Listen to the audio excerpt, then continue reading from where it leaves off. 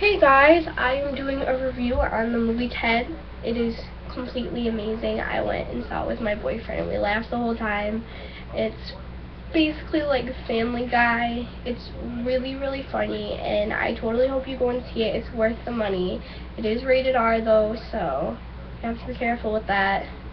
If you can't go, you should buy it totally when it comes out. It is super funny and I hope whoever goes and sees it enjoys it. Alright, thank you.